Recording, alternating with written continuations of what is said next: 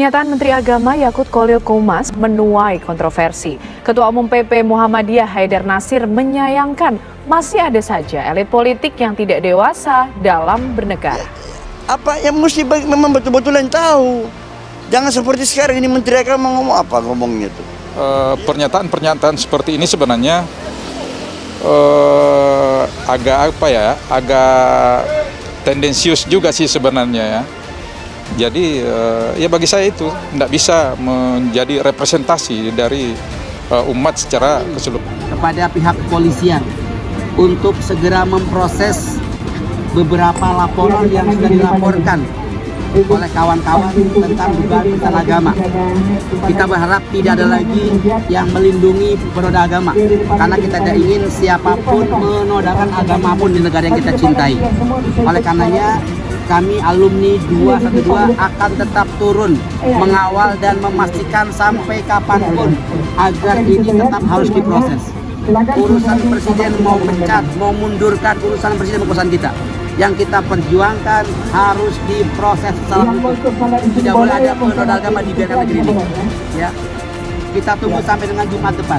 Kalau belum ada proses yang dijalankan oleh pihak kepolisian, saya pastikan Jumat depan kita akan turun kembali di Baris Krim untuk meminta Ancaman PA212 bakal demo lagi bila Menak Yakut tak lekas diproses hukum. Bagi PA212, Menak Yakut Kolil Kaumas telah melakukan penistaan agama karena menganalogikan azan dengan gogohan anjing. Oleh karena itu mereka ngotot agar polisi lekas menangkap Menak Yakut, apalagi laporan sudah dimasukkan. Bila polisi tak segera bertindak, PA212 mengancam akan menggelar aksi demo tepatnya di Baris Krim Polri. Mereka memastikan tidak bakal membiarkan penista agama bebas berkeliaran. Kita tunggu sampai Jumat depan 11 Maret 2022. Kalau tidak ada proses yang dijalankan oleh pihak kepolisian, saya pastikan Jumat depan kita akan turun menggelar aksi demo kembali di Baris Krim, ujar Ketua Umum PA212 Selamat Ma'arif dikutip dari Hops.id pada Kamis 10 Maret. Kami juga menuntut hari ini kepada pihak kepolisian untuk segera memproses beberapa yang sudah dilaporkan oleh kawan-kawan tentang dugaan penistaan agama. Kita berharap tidak ada lagi yang melindungi terhadap penista agama, tegasnya. Selamat menambahkan, PA212 tak mau siapa pun melecehkan agama di negara ini, sekalipun itu seorang menteri. Kami alumni 212 akan tetap turun mengawal dan memastikan sampai kapan pun agar ini tetap harus diproses, ujarnya. Urusan presiden mau memecat, memundurkan urusan beliau, bukan urusan kita. Yang kita perjuangkan harus diproses secara hukum, tidak boleh ada penodaan agama di negeri ini, pungkasnya. PA212 ancam demo lagi jika Menak tak segera diproses hukum. Ketua Umum PA212 Selamat Marif mendesak Polri untuk segera memproses hukum Menteri Agama Menak Yakut Kolil Kaumas. Mereka menilai Menak telah melakukan penistaan agama dengan menganalogikan azan dengan gonggongan anjing. Selamat mengatakan pihaknya akan kembali menggelar aksi demonstrasi tepatnya di Baris Krim Polri jika polisi tidak segera memproses Menak Yakut. Kita tunggu sampai Jumat depan 11 Maret 2022. Kalau tidak ada proses yang dijalankan oleh pihak kepolisian, saya pastikan Jumat depan kita akan turun menggelar aksi demo kembali ke Baris Krim. Kita akan turun menggelar aksi demo kembali di Baris Krim ujar Selamat Ma'arif pada Kamis 10 Maret. Kepolisian untuk segera memproses. Kami juga menuntut hari ini kepada pihak kepolisian untuk segera memproses beberapa yang sudah dilaporkan oleh kawan-kawan tentang dugaan penista agama kita berharap tidak ada lagi yang melindungi terhadap penista agama, tegasnya. Selamat menegaskan PA212 tak akan membiarkan ada penistaan agama terjadi di Indonesia, sekalipun dilakukan oleh seorang menteri. Kami alumni 212 akan tetap turun mengawal dan memastikan sampai kapan pun agar ini tetap harus diproses, ujarnya. Urusan presiden mau memecat, memundurkan, urusan beliau bukan urusan kita. Yang kita perjuangkan harus diproses secara hukum, tidak boleh ada penodaan agama di negeri ini, pungkasnya. Emosi pertemuan terkait Gus Yakut dibatalkan sepihak, PA 212 ancam kepung MUI. Emosi karena pertemuan untuk mendapatkan fatwa terkait pernyataan Menteri Agama Tomenak Yakut, Kolil Kaumas dibatalkan sepihak. Persaudaraan alumni atau PA 212 mengencam akan menggelar aksi besar-besaran di kantor Majelis Ulama Indonesia atau MUI. Ancaman itu akan dipenuhi jika tidak keluar fatwa atas banyaknya dugaan penistaan agama, termasuk yang diduga menjerat Menteri Agama atau Menak Yakut Kolil Kaumas.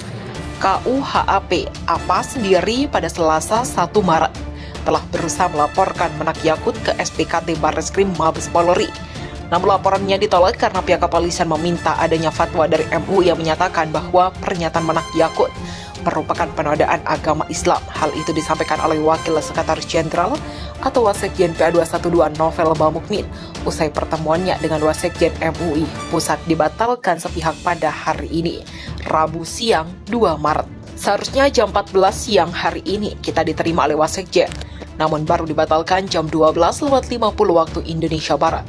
Tentunya ini mepet banget padahal belum lama ini kurang lebih dari dua bulan yang lalu.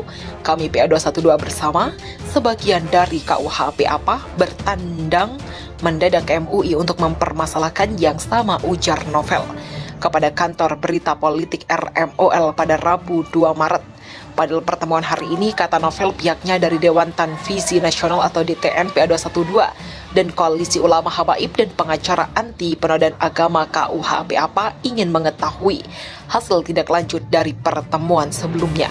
Salah satu hal ditindaklanjuti terkait dugaan penistaan agama yang dilakukan Menak Yakut yang membandingkan suara azan dengan anjing menggonggong. Namun kok mendadak sekali kami ditunda. Padahal prosedur komunikasi kemarin kami jalani dengan baik, kalau begini kami dikecewakan lagi, tegas novel. Hingga saat ini, kata novel, pihaknya masih beritikat baik menerima penundaan pertemuan para hari ini. Namun pihaknya menunggu jadwal ulang jika tidak ada kabar atau itikat baik dan jika MUI malah berpihak kepada Yakut, maka pihaknya akan menggelar aksi besar-besaran. Maka kami apa boleh buat?